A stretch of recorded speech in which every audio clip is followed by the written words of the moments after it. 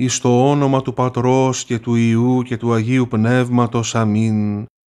Του Κυρίου δεηθόμεν, Κύριε Λέισον, Κύριε Ιησού Χριστέ ο Θεός ημών, ο ευδοκής σας εξελέξε τα ασθενή του κόσμου ή να κατεσχύνει τα ισχυρά και δείξεις ότι η δύναμή σου εν ασθενεία τελειούται, ήλαιος πρόσδεξε δεόμεθά σου, τας δεήσεις και οικεσίας ημών, ας ταπεινός με τα υμνοδιών καθεκά στην προσφέρωμένση, ως αυτός και εν τη ημέρα ταύτη, καθήνη θέλησας εν δόξος τελειωθήνε διασέ, ή ο σου και αθληφόρος Παρασκευή ή θαυματουργός, και δόρισε ημίν άφεσιν αμαρτιών και συγχώρησιν πλημελημάτων, ή να καθάπερ την σεβάσμιον άθλησιν αυτής, ετησίως επιτελούμεν, ούτω και τον ένθεον ζήλων αυτής, ον έδειξεν υπέρ του ονόματός σου, υπομείνασα ανδρικός,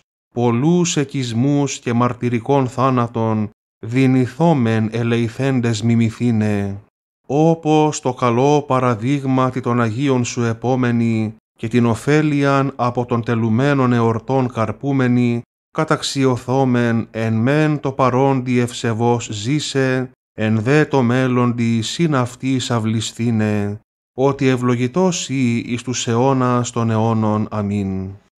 Διευχών των Αγίων Πατέρων ημών, Κύριε Ιησού Χριστέ ο Θεός ημών, ελέησον και σώσον ημάς. Αμήν. Την σπουδήν σου τη κλίση καταλήλων,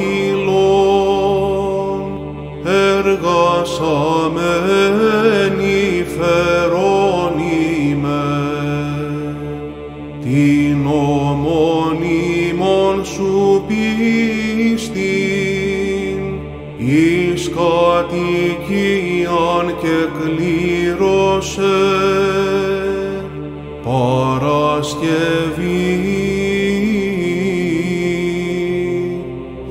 Αθληφόρες όθεν προχέης η άματα και πρεσβεύεις υπέρ των ψυχών